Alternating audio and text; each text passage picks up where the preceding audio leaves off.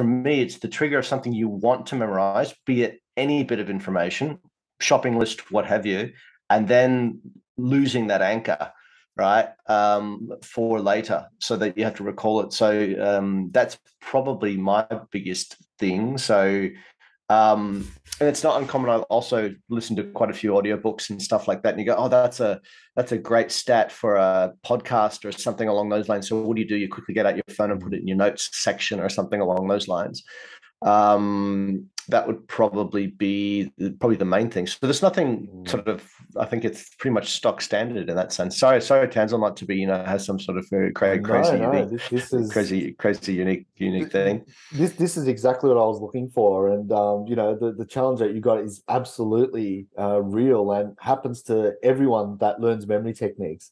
Right. Yeah. Um, so when you first learn memory techniques, um, you know, Ratana Pinto, you probably you know come across this uh, you come across the knowledge right? And there's a lot of it at the moment. So you, you learn a few things. You learn you know memory palace you learn linking and so on. Then you start practicing those skills and then you get to a certain point where you can actually remember stuff. I'm like okay that's cool. Uh, but what happens is that you want to put this to real life practice and it doesn't go as planned a lot of the time. So you're remembering a name and you, you can remember a name for a while but what happens is that that can easily be forgotten, right? Uh, and the reason why things get forget uh, forgotten is the anchor that Mark was talking about um, is is broken because the connection is not strong enough, or it hasn't been visited for a while. Because spaced repetition, uh, as you pro- probably know, Mark, you're, you're a learning professional. Um, you know, you're meant to go when you memorize something or learn something. You're meant to go back, say, a couple of hours later, revisit it, review it, and then a day later, a week later, two weeks later, and so on. So that's the thing there. Now, when you meet people, you might meet them once, do the memory application, remember their name, but not see them for you know more than two weeks or maybe a month or six months. So you've only got that one little association, right? How often are you going to go back and review their name, right? If you're conscious of it, maybe you do it once, but that's about it. So the real strategy around that is um, that it's twofold. One is uh, review measures, uh, being conscious and aware that okay, uh, if I am really going to remember these people's names or this bit of information and so on, I am going to make an effort. I'm going to put in my diary. I'm going to do whatever to review it in two hours' time, in a week's time, in two weeks' time, and make that sequence there. So you pop them yep. in your calendars and you create a schedule for yourself for review. Now, remember, when we're remembering something in real life, you're not really remembering that many things, to be honest, right? Even if you're, you know, someone that works in a field where all you're doing is memory, um, it's still not that much, right? Um, so, so it's just a guy who's remembering the yellow pages. Yeah, well, th- that was just a one-off exercise that someone gave me. So you know, it, I, I, don't, I don't have a use for memory techniques. I only teach it now. So isn't that funny? Um, so in reality, everyday life, you're not going to need memory techniques that much, but it's good to practice. So that leads on to the second um, way of doing things is memory training, right? Because if you're training your memory, what you're doing is you're taking you're anchoring, you're taking your storytelling, because that's what memory is. It's actually storytelling.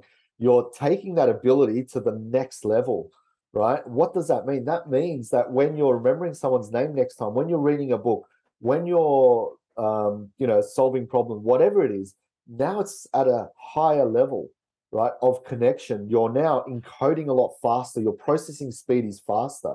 Everything works better. The quality is better. So, and this is from training. So that's what I always recommend to people is yeah, have those, you know, uh, review periods, but also train your memory as well. Um, that that's the big thing. And there, there's several ways of training your memory. Um, I think Ratana Pinto, I mentioned to you, Memory Palace is a great way of training your memory. Um, there's also a website that I recommend as well, and it's free. It's called memoryleague.com. I'll, I'll type it in the um, chat box here memoryleague.com. You can go on here and there's like um, you know numbers, playing cards, names and faces. Uh, you can get on there and start training, and it's they've gamified memory training, so it becomes quite fun. right? So they give you a minute to memorize as many names as you can, or a one minute to memorize as many playing cards as you can. Obviously, once you know the techniques, you can go on there uh, and start playing around uh, and really seeing some um, results. Because what, what it does is once you start the techniques and you apply them on here, then you want to get up to the next level and then the next level after that. so um, that's one way of practicing. Another way is I'll write down another website, uh, which is on my website actually, is a bunch of downloads you can get. Right. So I'll put these all in the chat box and the downloads have uh, even more list of words. So I've got like easy, hard, and hardest words so you can practice on. Um, it's also got some spreadsheets in there and so on. So you can download some of these things and start training your memory. Uh, and the goal is to get faster, right, at memorizing, but you want to build up quality as well. So hopefully, Mark, that's giving you yeah two options there to really boost that anchoring because us memorizers, memory experts, I guess, you know, memory athletes, our memorization has gone up several notches because what we've done is we've trained our memory to the highest level. Um, average everyday person, yeah, you can still get it up several notches as well. You just got to practice these techniques. It's like going to the gym and exercising or going for a run, right? If you don't do that, then yeah, you may not be fit as you know what you were, what you will be if you go and exercise. So that that's really the difference there. Cool. Yeah. how's that? Sure, thank you. Mark?